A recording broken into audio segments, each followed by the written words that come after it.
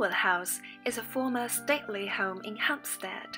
The house was originally constructed in the 17th century and served as a residence for the Earls of Mansfield during the 18th and 19th centuries.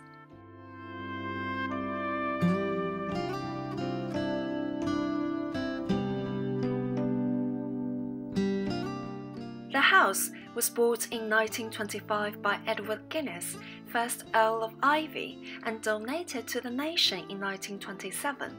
He was the head of the family's brewing business, making him the richest man in Ireland. Kenwood House contains a significant number of historic paintings and other works of art. Here, you will be astonished by the delicacy and elegance of these masterpieces. Here exhibits self-portraits with two circles by Rembrandt, one of the most celebrated artists in history. This painting was one of his last.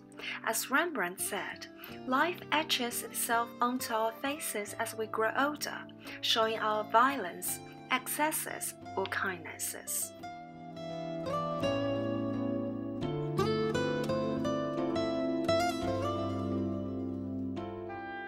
The Adam Library, designed by Robert Adam, is considered one of the finest English 18th century interiors anywhere. The paintings in this room have an interesting story.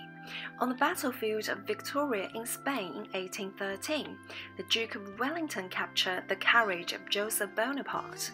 In this carriage, Wellington's soldiers discovered more than 200 paintings.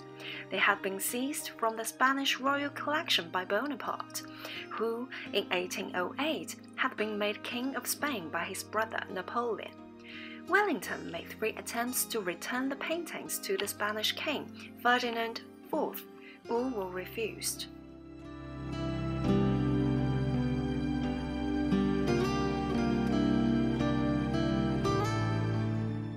Competition in 18th century British portraiture was fierce.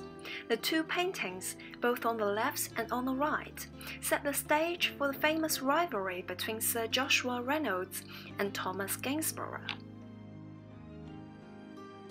This painting draws my attention as it looks so real that as if there is a light in the painting itself.